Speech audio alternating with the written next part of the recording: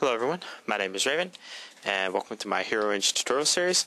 In this tutorial, we're going to take a look at adding clouds to our dynamic sky. So the first thing we need to do, um, you can go to the render panel and turn on directional shadows.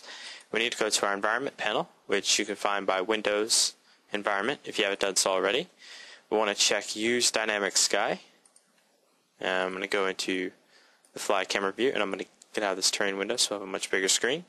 Alright, so our sky, it's nice and all, you know. I mean, we can change it. Hold on. But, you know, it's kind of, well, it's just kind of empty. It's not a whole lot going on there.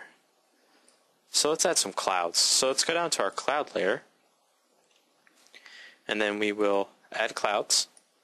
Now, as you can see, it created a very nice um, cloud system for us and we can up the speed. We're just going to up the speed real quick just so we can see what's going on.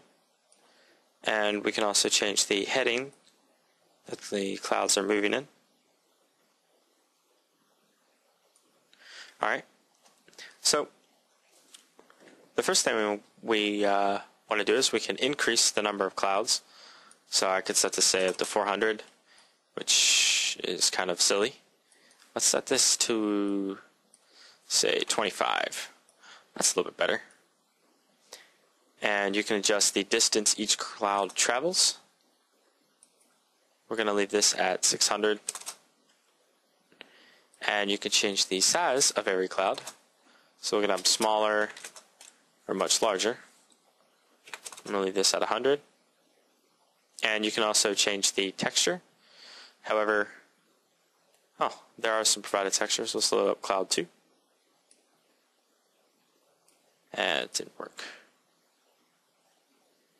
Do, do, do. Oops. Alright, so we have cloud 1. Now, one thing I want to show you as to why you want to lower the clouds. Uh, if you go and change the time of day to pitch black, it's a very nice and very nice night.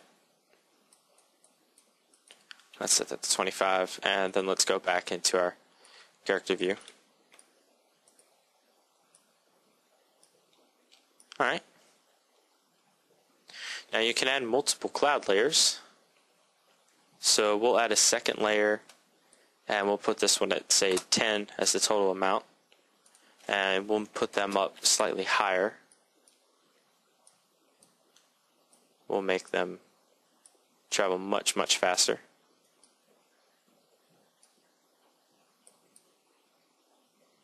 And we'll change their size to say 150.